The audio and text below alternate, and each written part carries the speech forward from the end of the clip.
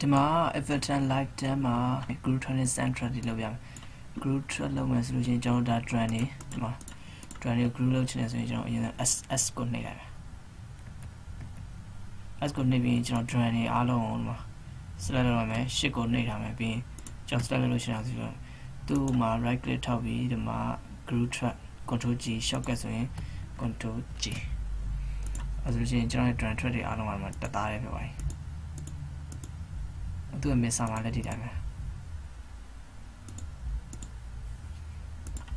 အယောင်ပြောင်းခြင်းလည်းကျွန်တော်ဒါတွေကို select လုပ်လိုက်မယ် select လုပ်ပြီးကျွန်တော်ထားခြင်းတဲ့အယောင်တွေချိန်ထားရရတယ်အဲဒီမှာလည်းကြည့်ကျွန်တော် trend track တွေအားလုံးမှာ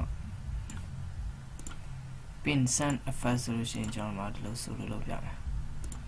ဆိုလုပ်ပြီးတော့ကျွန်တော် thread set လုပ်ပြမယ်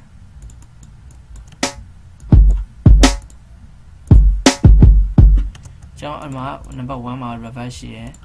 number 2မှာ delay ရှိရယ် reverse AV A မှာ reverse B မှာ delay အဲဆိုရင်ကျွန်တော် drum track ကို reverse ပေးခြင်းနဲ့ဆိုလို့ရှိရင်ဒီမှာ track set A ရှိတယ်အဲ့လိုပဲ B နဲ့ delay တွေဝင်သွားပြီ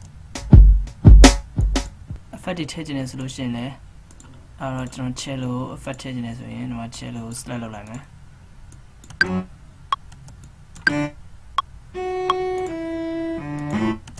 cello select လုပ်ပြီးရင်ဒီမှာဒီဟာ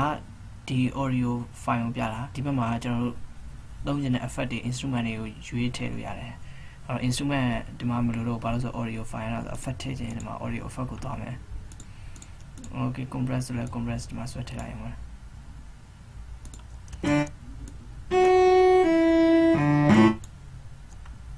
အဲ့လိုပဲ reverse ဆိုလဲ reverse ဆွဲထည့်လိုက်ရမှာ